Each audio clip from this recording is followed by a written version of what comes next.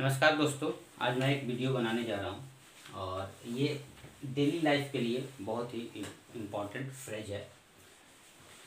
Speaking हो या writing हो, ये यूज़ किया जाता है।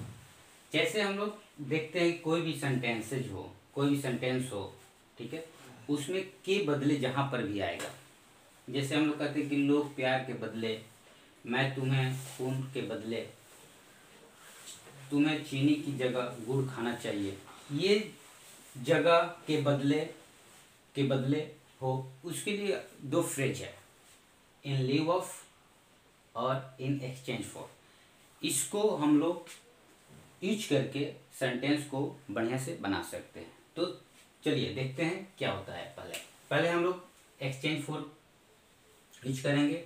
After that in lieu of जैसे लोग बोलते हैं कि लोग प्यार के बदले तो यहाँ पे देख रहे हैं कि प्यार के बदले के बदले में दर्द देते हैं।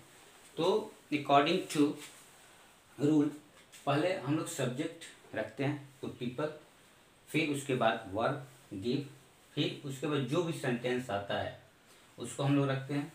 फिर के बदले के लिए इन एक्सचेंज फॉर यहाँ पे पुट कर देंगे। उसके बाद जो सेंटेंस आएगा जो वर्ड आएगा, उसको हम लोग लिख देते हैं। फिर दूसरा सेंटेंस देखते हैं। मैं तुम्हें खून के बदले आज़ादी दूँगा। यहाँ पर भी हम लोग देख रहे हैं के बदले। तो यहाँ पे हम लोग के बदले के लिए इन लीव ऑफ़ का प्रयोग किए हुए हैं।